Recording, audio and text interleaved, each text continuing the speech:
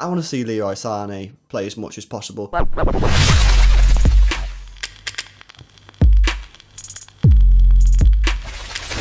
Hey guys, welcome to the City Xtra's post-match thoughts for the Burnley game. I'm Lewis, he's Jordan. Yep. Uh, if you're new to the channel, make sure you hit that subscribe button and turn on the notification bell so you get notified of all our videos and when we go live streaming and stuff. Um, I wanted to jump straight into it. I want to talk about Phil Foden today. Um, gets the nod, started. A lot of people, I think, predicted that he would start. Um, but he, he got started out on the wing, not central attacking midfield position, which is his, obviously his natural position.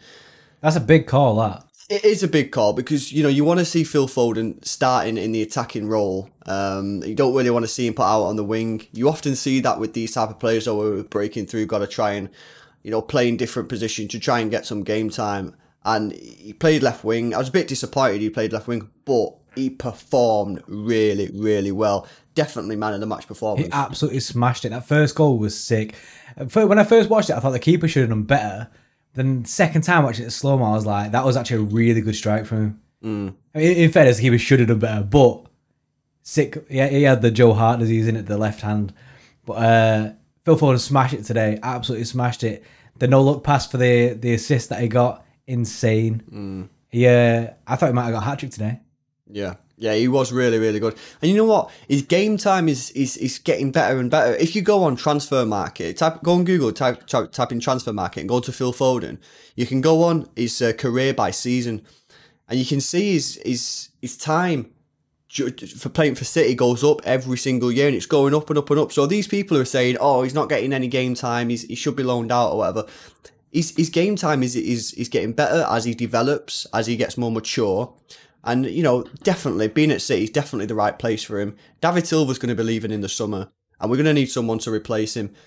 I've been saying, and I think you've been agreeing, a lot of people agree, these Premier League games now, they're not really that important. We should be starting Phil Foden in every single game that we have. Definitely. definitely. I agree, 100%. Because we need to know now if Foden is ready to take David Silva's place. Mm, yeah. Let us know what you guys think. Leave a comment down below, guys. Do you think Phil Foden should start in every single Premier League game going forward for the rest of the season to fully understand whether this guy can can take over David Silva's role. You know, David Silva's world class player, one of the best players in the world. Can Phil Foden take that mantelpiece next year, or do we need to go into the transfer market? Let us know what you think down below. Um, I just want to mention his play style. It reminds me very much of. It's a bit of a mix, but I really like the, the Frank Lampard comparison. The guy, Phil Foden, gets in the box. He wants to score goals. And the goal against Arsenal that he scored, that's come from his desire to get into the box, pick up the scraps, and put it away. Definitely man of the match performance today. 100%. He smashed it. Absolutely smashed it. Is that Phil Foden's best game in a City shirt? Possibly. Possibly. It's got to be up there. Has to be up there. He was so sick today. Mm. He influenced the game. You know, he, he played. He's played obviously against Tottenham last year, didn't he? Was it last year when he got the goal, the header? Yeah, yeah. But today he influenced the game throughout the full 90 minutes. Um, so yeah, for me, class, really good play. Another player I want to touch on, Riyad Mahrez. I thought he's he's been fantastic. He was really really good against Arsenal, winning the penalty. Yeah, yeah. Um, he's done. He totally did David Luiz. David Luiz ended up getting sent off because of uh, uh, like uh, intelligence and, and control. He did, he did really well in that situation. He knew in it. He knew, he knew what he was doing. Mm, hundred mm, percent. And today, again, he's just took that form and continued. Um, some really nice touches. I'm sure you've all seen the touch going round of, of where he does one of the players. Um, you know, and he was unlucky. He got two goals today. He was unlucky not to get a hat trick because there was a time in the first half oh, yeah. when the ball just got played to Riyad Mahrez and it was coming onto Mahrez's left foot on the right hand side. It's a perfect sort of Arjen Robben type chance, if you will. And Bernardo Silva came in and came in, and absolutely robbed it off him. Yeah, absolutely. Stole it, absolute bandit. Yeah, but Riyad, but Riyad Mahrez really been impressing me. Uh, let us know, you guys. Is this Riyad Mahrez really? Is this what we bought Mahrez for? We spent a lot of money on yeah, it. Yeah, I think so. I think it's just taking him a season to get into it, but now we're seeing like he's, he's been really good all season, and then now I feel like he's got flair. I feel like he's confident. You can see the confidence in him, something that you didn't really see in the in the first year at City, mm. and you can see by today he knew he had the better of all them defenders. He was taking them on left, right, and centre. Loved it. He, he, he had one of his better games that I've seen in the City shirt as well. Mm, yeah, no, definitely. The team's definitely playing nice at the moment. one bad note, I'm afraid, is the Aguero injury. Um, he went down, didn't he, from a challenge from one of the Burnley players in the penalty area. You actually called penalty straight away, didn't Like, you? yeah, I called penalty straight away. I went to VAR and it was a penalty. However, the injury wasn't actually from that tackle. Mm. Beforehand, about I don't know, about five minutes, ten minutes before the penalty incident, um, I seen him roll up his his shorts and he was feeling his knee. So I think he's overextended. Did did someone say we did a live stream before? Um, make sure you follow us. Get on that. Um, did they say metatarsal? Is that right? Is that what it said? I don't know. I mean, it doesn't It's- sound great from what we're Yeah, hearing. Pep's face kind of said it all. If you've watched the match and you see Pep's face when Aguero walked off and had a conversation with him, it kind of said the situation that was going on. So hmm. maybe Aguero will be out for a few games, which gives time for Jesus to come in, which I'm not, I'm not unhappy about. Yeah, no, Gabriel Jesus is, is, is in decent form at the moment. Um, he's looking looking looking strong, and he's he's so young, Gabriel Jesus, and I, I I fully back this guy. I think when Aguero leaves, I think he does have the potential to take that to take that role. Um, others will disagree, um, and yeah, you know he's got to start putting the ball in the net a bit more. But he is a cracking player.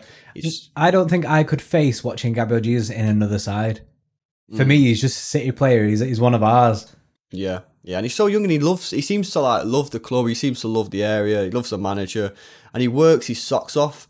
Um, very Tevez like in that in that respect. You know, he never he never stops trying. He's always he's always pressing. Um, Some people say he fits our style better than Aguero does. yeah, I mean, The, the pressing play, he has the legs for it. when Aguero first came, didn't he? Uh, uh, sorry, when Pep first came, there was that sort of talk about whether or not Aguero would fit in to uh, Pep's style of playing. Uh, It seems that Aguero had to work really, really hard to get into into Pep's system. Um, but yeah, I I do feel that Gabriel Jesus is, is, is more of a natural natural fit for this team. Yeah, yeah. I, Um, but yeah, that's that's the one sort of downside of this game. We didn't concede any goals. We didn't really concede any chances, truth be told. And the one downside really is that Aguero's got an injury, and it, it seems like it might be a pretty nasty one. It's, it's just City luck, in it, when we have a full, fully fit squad pretty much, and then this goes and happens, and when our best striker gets injured. Yeah, yeah. Something that was quite interesting, and it's a bit of a split with the fans here, is the decision to bring on Leroy Sané. Now, it's quite clear now, you know, that Leroy Sané is probably not going to be at the club next season. Looks like he's going to Bayern Munich. It also looks like City are not going to get a proper value. Um, you know, some of the figures that are going round is sort of It's 30 ridiculous, isn't it? Yeah, 30, 40 million maximum, really. I mean, Bayern must be rubbing their hands. They're getting a player who's worth excess of hundred million for for peanuts, really, isn't it? Yeah, that's it. And you know, and, and now, now there's talk Oliver Kahn coming out saying, you know, maybe that they won't even put a bid in and they'll just get him on a free transfer uh, next summer or maybe try and get him on even cheaper, you know, 15, 20 million in, in January. So, you know, I can see why some fans are not happy with Sané's involvement. Um, I'm on the lines of because he's not he's not seemingly distracting the team. You know, he's, he's not coming out constantly doing news reports, demanding that he leaves. You know, he, he seems to be training well. I don't think Pep would, would put him anywhere near the first team if he wasn't training well. And I just, a bit like David Silva, I I want to see David Silva as much as possible now before before he leaves in the summer. I want to see Leroy Sané play as much as possible. I'm happy for that only to be in the Premier League where it doesn't really matter. But yeah, I do want to see him play. But you know, what's your view? Because a lot of fans are on the opposite side, saying that no, he shouldn't. He shouldn't be anywhere near the first team if he doesn't want to leave. Yeah, there's, leave. there's a big split in this where some fans are like, he doesn't want to be here, so don't let him anywhere near the first team. However, I just think we should enjoy the Le- Leroy Sané. You know what I mean? He, he is a quality player. I, am just excited to see him play football. I don't think he should. And if, if he can add something to the Champions League, maybe I'd still say yeah, because I, I guarantee he'd love to win the Champions League with City. Even though he wants to leave, it's still a trophy for him, isn't it? Um, I wouldn't like to see him start any games. He shouldn't really start over players that want to be at the club. However, I'm all for him playing playing minutes. I like seeing him play. He's a really good player. He's got some great goals for City, and uh, yeah, Mm, yeah, interesting one. I think I think I'll lightly reading the comments on this. Let us know whether you think that Sané should play. Um, are you happy for him to play? Maybe if it's just as a sub appearance. Uh, are you totally against him playing, or are you totally fine? Are you happy for him to start the biggest of games whilst he's still a Manchester City player? Let us know in the comments below. And brings me on to the final player, one that's you know he intrigues me really. Is is João Cancelo? Um, he's not played a lot of football for us this year. Don't really hear much from him.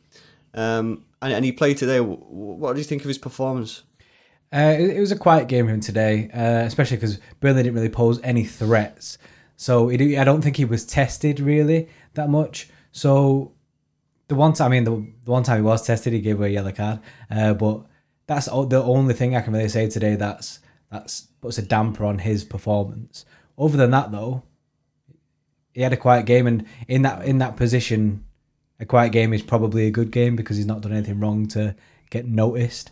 Uh, the only thing I think he had he had a shot in the first half which went way over. Yeah, I mean, blasted it right over. Kind of getting used to that situation. Yeah, yeah, yeah. One of them will go in one day. Yeah. Um, but other than that, now all right game for him. Um, I'm looking forward to seeing more of him. Really, like people who listen to our podcast and stuff know that I give free passes to these players when they first come. They get a year pass from me. Uh, I would give Cancelo his year pass. Uh, one thing for me is he doesn't seem to have that fight which I, I don't know if it's just because he's very quiet and we don't see much of him like on socials and stuff. But you know, I mean, he has been posting on Instagram recently saying like, "Oh, come on, City" and stuff. But I don't know. I don't know whether his head's in the game at City. I don't know whether his his head is elsewhere. Yeah, I mean, for me, I don't know if whether it was a necessary purchase. Obviously, we don't know what happened behind the scenes with Danilo, but is Cancelo that much better than Danilo? I don't know. I, don't think he is. And I actually think that Danilo offered you a little bit more versatility. I think he could play left. He could play centre mid. He plays centre mid some, sometimes. Um, and I think he was just, I think he was just a little bit more content at just sort of playing the sort of second right back role. Yeah. Whereas I think Cancelo, I think he expects to, to start a lot more than he does. And with Walker in the form that he's in, that's just not going to happen. Um, so yeah, that, that was just another interesting pick out. I don't think he had a bad game today. I don't think you know there was much for him to do really in terms of defending. He didn't really get forward very much. Um, didn't really need to with Mahrez playing on the same wing. Uh, but that's just another interesting one. That's one that we need to keep our eye on. I think Cancelo just to see how he sort of plays for the rest of the season. There has been talk that he wants to leave. We'll have to see what sort of rumours persist with that.